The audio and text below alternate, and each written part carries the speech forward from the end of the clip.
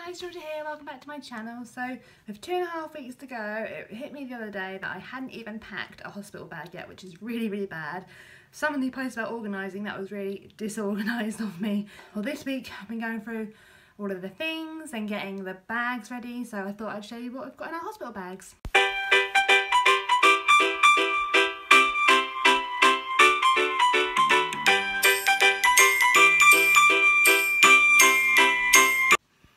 Okay, so I'm packing two separate bags, one for the baby and one for me in hospital. The changing bag that we have is this Yummy Mummy one. Um, I got it from Kiddicare. Looking back on the price, I can't believe how much I actually spent on it because for someone who loves a bargain, I spent $79.99 on this, which to me is a lot of money. I must have really wanted this bag. I've washed it. It is a little bit dirty still because obviously we did use it with Isabella. I've tried to wipe it down as best I could. I put it in the washing machine and I've also disinfected it as well as well as the inside. I had a book or a little card with all the names and numbers of the people that I wanted to con to contact whilst I was in labour and whilst uh, uh, after having her. So I put that in the front. That way I don't have to think about who we need to contact. Ben can just grab it and go makes things really this is how it looks on the inside. As you can see, everything's kind of got its own place. As I said, I have washed it in the washing machine and um, I took out anything that couldn't be washed in there and just wiped down with antibacterial and tried to disinfect it the best I could. You're to want nappies. they recommend taking about 10. To be honest, you probably won't go through all of that depending on how long you're going to stay in there. With Isabella, I had her at half four in the morning and we were out again by half 10 in the evening. So I came out the exact same day. Depending on what time you had the baby there, you might need to be in there longer. They're so tiny, I can't believe how tiny they are. Like a little bum is to fit in there. Some hospitals can be funny about wet wipes. Personally, I've never had a problem with them. But as I said, some hospitals don't allow you to use them. They only want you to use dry wipes and water. So check out what your hospital is okay with. I had these last time and that was absolutely fine. But you might want to check out in advance what uh, your hospital regulations are.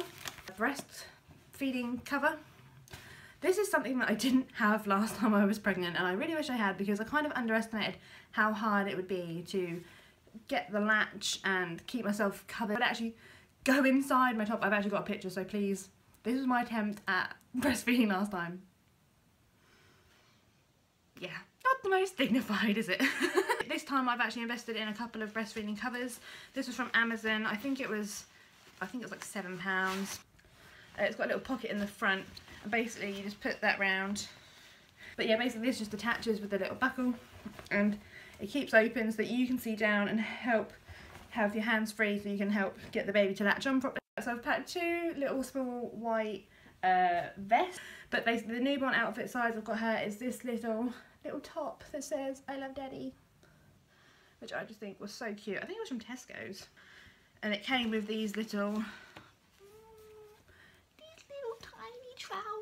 as well. So I don't know how, because it's June and we live in the UK, it could be raining, it could be freezing cold, it could be boiling hot. We have no idea. The weather changes so frequently that it's hard to plan for. So I've took a little cardigan just in case. Some little, uh, little scratch mitts, a couple of uh, pairs of socks, which I've balled up as well and um, a couple of pairs like little hats as well. This one is like a little all-in-one. Oh, and the little legs will be out, so they'll be all chunky and cute.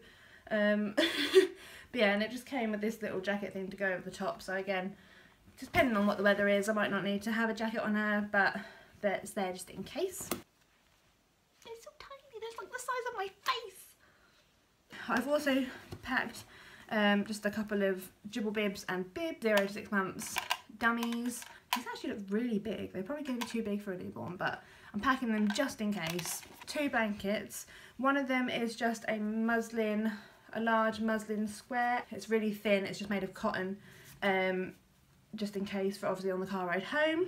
This one is something that um, Ben's auntie's partner's mum knitted her. It's just the softest literally I want to have it in my bed with me and it's so nice it's got lovely like pink and purple and just like light I think it's white but um yeah so if it's a little bit cooler that day or if it is cold then this can go on her as well but I'm taking that with us of what I'm actually packing it's literally just Ben's old sports bag don't worry it has been cleaned it doesn't smell like dirty socks change your clothes when I come out of hospital you're probably not going to go back down to your pre-pregnancy size and you're going to be so uncomfortable I can't even explain how uncomfortable you're going to be do yourself a favour take some loose fitting clothes.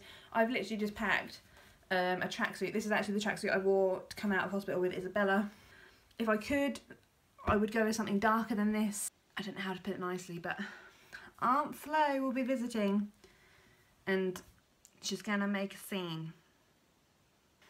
A loose fitting hoodie top as well. Again, if it's hot, I'm probably just going to wear my pyjama top out. I'm not even going to try and feel glamorous. Some like first time mum to me like, oh, I'm going to come out, I'm going to have a full face of makeup on. I'm not even packing makeup. I'm just packing the bare essentials to get me through. Pick out the biggest Bridget Jones pants. You know what I mean by that.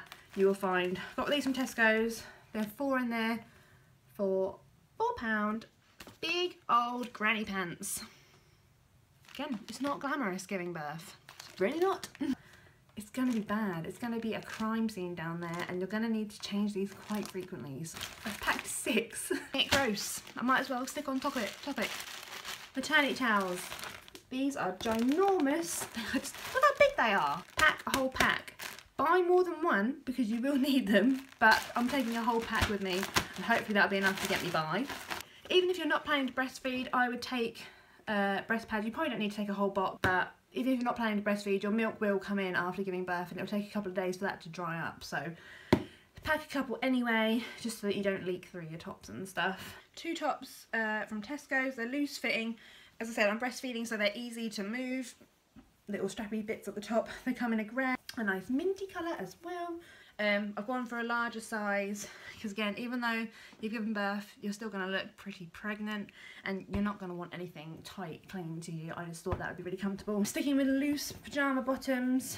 I found the maternity ward last time it was winter so the heating was going to be on but it was really really hot um, and everyone that I've spoke to as well at my hospital have said that it's hot no matter what time of year it is in there because they have to keep the temperature up for the babies. It, it varies with every hospital so you may need to take a robe um, or something a bit thicker to keep you warm and it might be worth you doing like a ward tour or something before you go into labour to get um, a feel for how warm it's going to be and things like that so you can pack accordingly. The towel um, for afterwards when you have a shower or a bath. The hospital staff were really lovely last time. They did offer me a towel, um, but I packed one anyway. I'm doing the same this time, but when you, if you do pack a towel, uh, make sure it's dark coloured and it's one that's old, obviously clean, but um, it's one that's old and you're not going to worry about getting messy because it will get ruined.